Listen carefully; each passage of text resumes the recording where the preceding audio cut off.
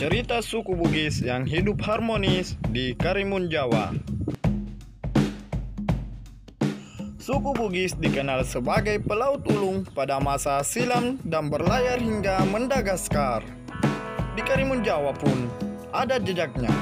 Mereka telah menemukan sebuah pulau kaya raya di tengah laut Jawa dan awalnya hanya untuk singgah sejenak. Alih-alih berdagang, hingga akhirnya menetap dan membentuk perkampungan Bugis sampai sekarang. Mereka mampu mempertahankan adat istiadat dan tradisi sendiri, hidup rukun berdampingan dengan suku Jawa.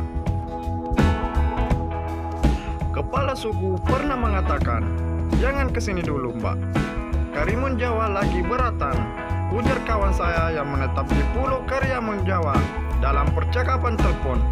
Istilah baratan kerap dipakai masyarakat Karimun Jawa untuk menggambarkan cuaca buruk yang menyebabkan gelombang laut semakin besar.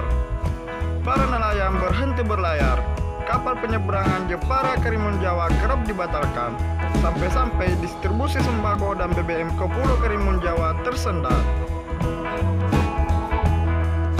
Tapi saya begitu bebal, memaksakan diri berangkat ke Pulau Karimun Jawa setelah peringatan dini dari BMKG tentang gelombang besar di Laut Jawa.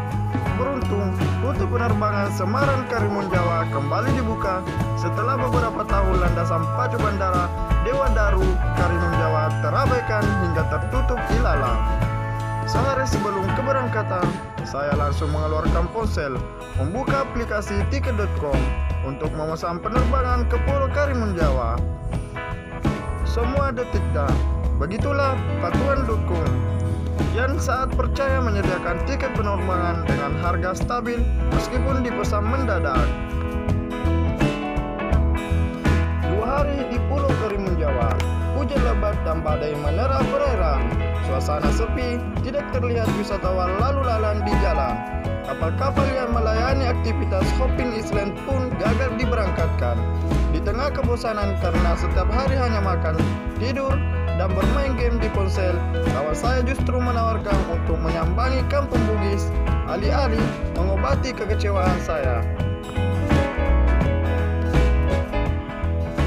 Benar, di jalan setapak desa Kamujan terdapat barisan rumah panggung yang menandakan rumah adat suku Bugis. Mereka berkumpul dalam satu dusun yang dinamakan Kampung Bugis. Kami berkunjung ke rumah Mas Nur. Rumahnya di ujung barat Kampung Bugis. Keluarganya berdarah Bugis, tentu memiliki rumah panggung yang pandai berbahasa Bugis. Begitu kami masuk ke dalam rumah, keluarga beliau menyambut drama dengan menyodorkan dua ekor ikan bakar besar dan sebakul nasi hangat.